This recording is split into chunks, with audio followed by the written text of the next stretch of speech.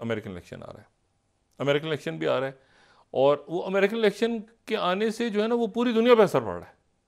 मतलब ये उसमें पूरी दुनिया पर असर इसलिए पड़ रहा है कि देखें, सदर बाइडेन जो हैं, उनकी ज़बान से एक फहश गाली निकल गई सदर प्यूटिन के लिए। फहश गाली।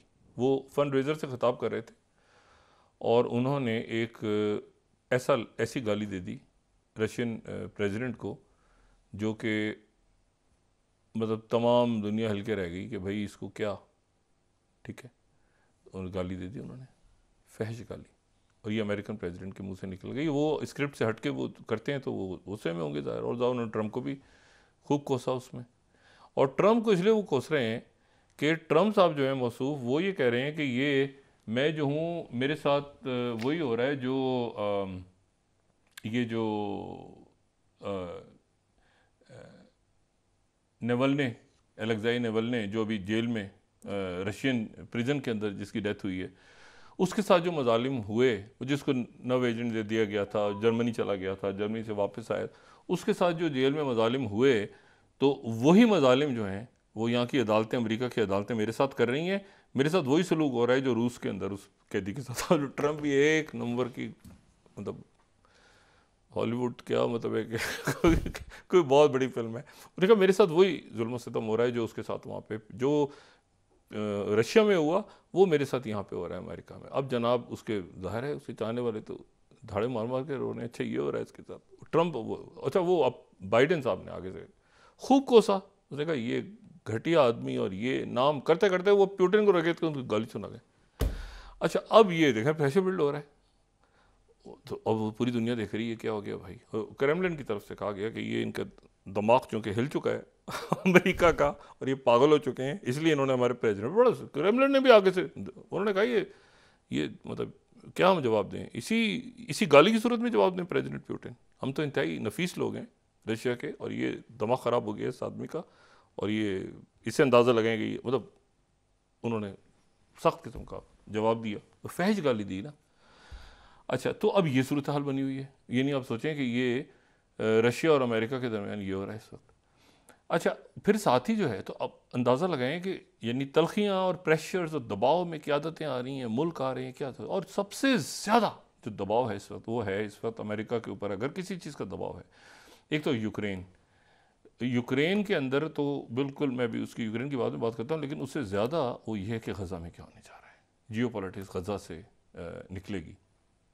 और गज़ा में जो है वो ये हुआ है कि जो हेग में इंटरनेशनल कोर्ट ऑफ़ जस्टिस की जो समातें हो रही हैं जिसमें बावन मुल्क वहाँ पे जो आ, जो इसराइल के बारे में ये वो जनूबी अफ्रीका की जो की तरफ़ से जो करारदाद पेश हुई थी वो नहीं है। ये दूसरी ये दूसरा मामला एक है जो कि ऑक्यूपेशन के हवाले से वहाँ पे एक केस काफ़ी अर्से तो उसकी इतफाक़ से टाइमिंग्स दोनों की एक हो गई हैं। वो अलग है वो कत्ल आम का जो जनूबी अफ्रीका था ना ये अलग है। अब इसमें जो है वो आ, अमेरिका और रशिया दोनों की आपस में वहाँ पे लड़ाई हो गई। और जो ज़ाहिर है हेग में हो रहा है तो वो आपस में उनकी लड़ाई हुई और तल कलामी हो गई। और दोनों ने अदालत के में जो दोनों के सफ़ीर थे उन्होंने एक दूसरे को देखे बगैर ये कहा कि ये तो मुनाफिक लोग हैं। ये मुनाफिक आदमी है, ये कतलेआम का जिम्मेदार ने कहा, ये कतलेआम ये मार रहे हैं यूक्रेन में। ने कहा, यूक्रेन का ज़िक्र क्यों कर रहे हो? हम तो गज़ा का ज़िक्र कर रहे हैं। गज़ा में तुम कतलेआम के ज़िम्मेदार हो।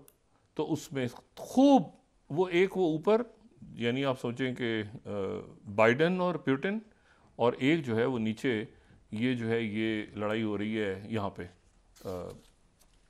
जो अदालत के अंदर है। अच्छा और ये है कि हिपोक्रेसी, मुनाफिक, फ़लाँ, ढिमाकना, ये वो सारा। और गज़ा में मैं आपको सिर्फ़ ये बताऊँ कि गज़ा में सूरत हाल ये है कि जॉन हॉपकिंस का अगर मैं एक रिपोर्ट यहाँ पे दिखा सकूँ ये जॉन हॉपकिंस की रिपोर्ट है और ये उन्होंने एक प्रोजेक्शन प्रोजेक्शन रिपोर्ट होती है ना कि कुछ दिनों के बाद यानी कुछ दिनों के बाद क्या सूरत हाल डेवलप होगी London School of Hygiene and Tropical Medicine और ये उनकी एक प्रोजेक्शन मॉडल उनका सामने आया है। और अगर हम इसको देखें और अगर हम इसको स्क्रीन पे भी ज़रा दिखा सकें तो ये जो प्रोजेक्शन मॉडल है उसकी बुनियाद पर आ, अगर मौजूदा सूरत हाल बरकरार रहती है गज़ा की मौजूदा सूरत सॉरी अगर सीज फायर हो जाता है अगर गज़ा में सीज फायर हो जाए ठीक है तो मजीद ग्यारह हज़ार पाँच सौ लोगों का इंतकाल हो जाएगा। सीज फायर होते ही। उसकी वजह यह है कि वहाँ पर बीमारियाँ और सारे इश्यूज़ हैं ठीक है? और अगर जो है वो आ, इस तरह से हो कि सीज फायर होने की सूरत। अच्छा अगर मौजूदा सूरत हाल बरकरार रहे तो छियासठ हज़ार सात सौ बीस लोगों का ये इंतकाल हो जाएगा अगले यानी शहीद हो जाएँगे अगले छह महीने में। छियासठ हज़ार सात सौ यानी तीस हज़ार हो चुके हैं छियासठ हज़ार और हो जाएँगे जंग जारी रहे। जंग अभी रुक जाए तो तीस हज़ार शहीद पहले हो चुके हैं ग्यारह हज़ार पाँच सौ अस्सी इतने जख्मी हैं और इतने बीमार हैं कि वो जानों से चले जाएँगे। सीज फायर की सूरत ये आप रिपोर्ट देखें ना सीज फायर टोटल ठीक है? एपिडेमिक्स समेत बीमारियों के समेत। तो सीज फायर स्टेटस को रहता है तो छियासठ हज़ार और अगर जंग थोड़ी सी बढ़ती है तो पचासी हज़ार सात सौ पचास मजीद फलस्तीनी शहीद होंगे छह महीने में। पचासी हज़ार, ये ये एस्टिमेट है। यानी आज अगर जंग बंद हो जाती है, बिल्कुल जंग बंद हो जाए, जख्मी और बीमार तीस हज़ार पहले ही शहादतें हो चुकी हैं, ग्यारह हज़ार। ये, और वो कह रहे हैं कि ये एस्टिमेट बहुत कम है। साथ ही रिपोर्ट में ये लिखा है जॉन ऑपकिंस की, और ये London School of Tropical Hygiene and Tropical Medicine का ये उन्होंने प्रोजेक्शन मॉडल लिख दिया है। ये इतना भयानक है, इतना खौफनाक है, और इसके, इस दौरान ये बात आ रही है कि जी रमज़ान के अंदर रमज़ान का आगाज़ होगा, रमज़ान मुबारक का, और साथ ही मस्जिद अक्सा और वहाँ पर मुसलमानों के साथ रोका जाएगा, ये किया जाएगा अब जना प्रेशर आ रहा है। ज़ाहिर है कि अरब ममालिक पे, यूरोप पे और अमेरिका पे कि भाई इस जंग को रोकें।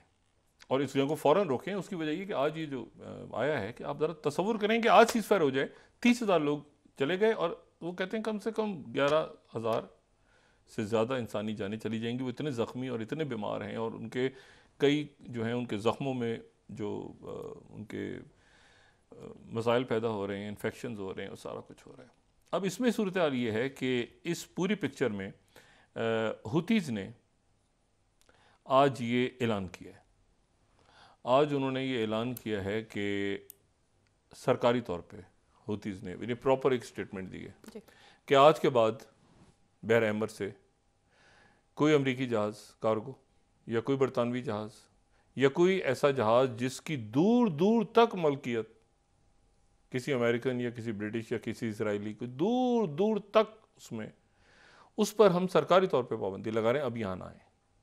अब आएँगे तो मतलब है कि काम ख़राब होगा। मतलब उन्होंने प्रॉपर स्टेटमेंट दी है कि हम यहाँ पे पाबंदी आयद कर रहे हैं रेड सी के अंदर बहरे में कि ये जहाज़ नहीं आएँगे। अच्छा इससे पहले ये था कि वो आते थे, ये अटैक करते थे अब ने ऑफिशियली स्टेटमेंट दे दिया कि अब यहाँ पर हम पाबंदी लगा रहे हैं। अच्छा और जो इस पर करेगा, वो फिर आगे खुद जिम्मेदार होगा। जो जहाज़ डूब रहा था, कल उसको खींच के कोशिश हो रही है, वो मुकम्मल तौर पे नहीं डूबा था तो उसको खींच के ले जाया जा रहा है जबूती तक। जबूती की बंदरगाह तक, लेकिन वो भी एक अजब तमाशा है कि वो जहाज़ जो है, उसका हमला तो बच गया, लेकिन वो जहाज़ जो है, उसमें मिज़ाइल गिरे और तकरीबन पानी में आधा डूबा हुआ था तो खींच के अब जबूती तक ले जा रहे हैं। मुख्तलिफ़ जहाज़ और हुती से गुजारिश की गई है कि जब जहाज़ उस, उसको ले जा रहे हो तो बर करम आप उस वक्त अटैक ना करें उन्होंने कहा हम अटैक नहीं करेंगे। आप ले जाएँ। ये जो जहाज़ का मलबा है इसको ले जाएँ उठा के। मलबा है या इसको ज़ाहिर है डूबा तो नहीं है अभी। अच्छा अब मसला ये है कि तो एक तो ये बात हो गई। दूसरी बात ये कि गज़ा में एक कायरा में अब क्या हो रहा है? कायरा में मोसाद के चीफ पहुँच गए हैं। हमास के लोग पहले मौजूद हैं। और अमेरिकन जो वहाँ पे जो डेलीगेशन है, वो भी यहाँ पर पहुँच गया है और पूरी कोशिश हो रही है, एक बार फिर दोबारा।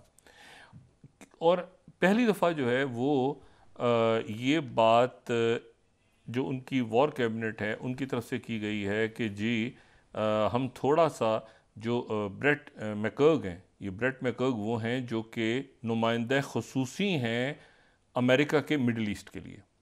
तो मिड वो पहुँच गए हैं कायरा। सी के लोग भी हैं। ये मोसाद के चीफ भी पहुँच रहे हैं वहाँ पे। कायरा हमास की लीडरशिप भी है।